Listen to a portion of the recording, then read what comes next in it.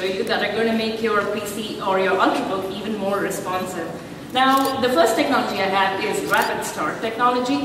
Now, not a lot of people use Hibernate today because it just takes so long to get out of Hibernate. But Hibernate gives you up to 30 days of battery power, it's, you know, on, uh, So we like the Hibernate, but getting out of Hibernate, it's pretty annoying. Right.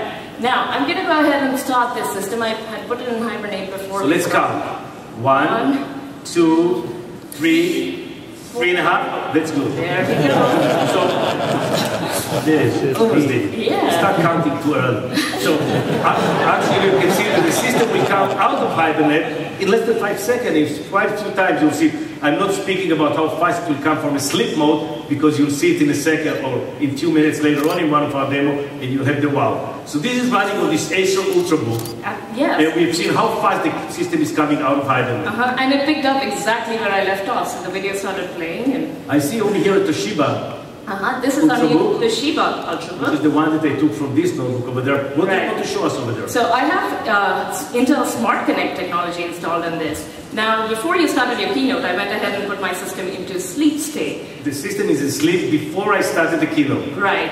Now, what it did during the, while you were giving your keynote, is it woke up for brief periods of second, uh, brief, brief time, downloaded all, all your latest updates, you know, so when I am ready to go, I don't have to worry about syncing my uh, system. I can be sure that I have my latest updates on my machine. Great.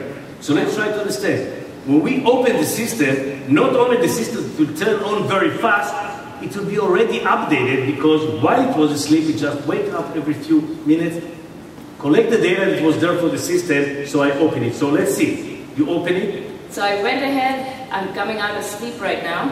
It seems that you've got, oh, beautiful. And, and there you go. I have your picture from the keynote that you've been I giving. upside down. All right, there you go. So this picture, this picture was actually taken while I was on stage to send the email, and while the computer was in a sleep mode, actually it updated the information.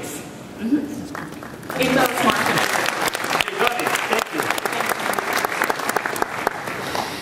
All right. Security is one of the top consumer concern. The market survey that was done by marketing find out that consumers really pay, care about the security. And there's two kind of security that we needed to address.